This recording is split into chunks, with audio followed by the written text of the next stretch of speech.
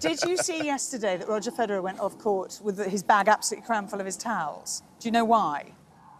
Because he got a special one. Oh, yeah. Did you know that you have a special one as well? Yes, With was- your name on it. I and was- this obviously in memory or in marking the anniv- 40th anniversary of your first win here. Yes. Where's it got? Where's it got the things? There. That's what I'm looking for. Look There they many are. there. yeah, look, at that. how many. Yeah, Roger's exactly. Look catching at all up nine. though. Enough Goodness already. gracious. Um, very nice. I got yeah. They gave me tennis channel gave me one yesterday. It was very special, and they said there were only two two made. Ah. So now I have both of them.